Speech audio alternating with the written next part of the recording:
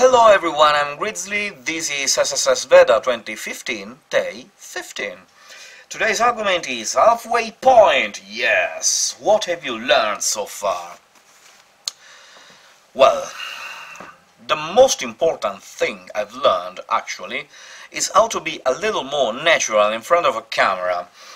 Because I wasn't so sure about my English, I wasn't so sure about my way of interacting with people. I wasn't uh, so sure about my way of um, presenting videos on a YouTube channel and I know this sounds weird especially if we consider that it's more than a year that actually I run another YouTube channel except the other YouTube channel I run actually is in Italian language I um, still now I don't feel pretty much comfortable in front of a camera speaking in English language however if you take a look at my first Veda vlog, I will put the link in the doobly-doo, you will notice that I was uh, pretty anxious, I was pretty nervous. Um, I feel actually a little more anxious, still I feel anxious, still I feel worried uh, about how I'm interacting at this moment in front of a camera.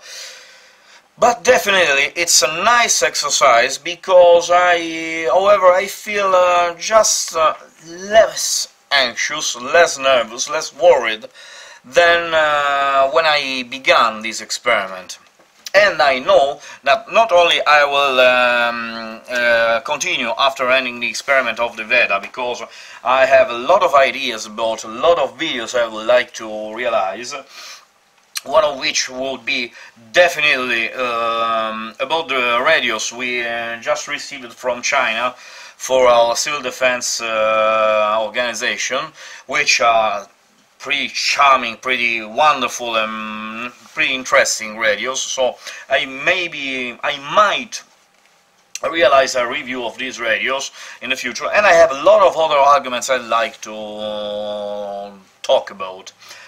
So that's it. I'm pretty happy that I arrived to this limit. I I wouldn't imagine, even imagine that I uh, would be able to arrive to this limit, but I still feel good. It's a pretty good mode, It's a nice experience, and I'm gonna continue. And when I began, I wasn't even sure if I was able to arrive till the end. Now I'm sure I will even continue. And what about you? How is going your Veda experience? Let me know in the comments below. And as always, don't forget to subscribe to my channel if you're interested in my vlogs, if you're interested in Veda, if you're doing Veda like me. Okay, that's it. Thanks for now, thanks for strolling around, thanks for watching, and we will see you tomorrow with the next Veda vlog. Bye!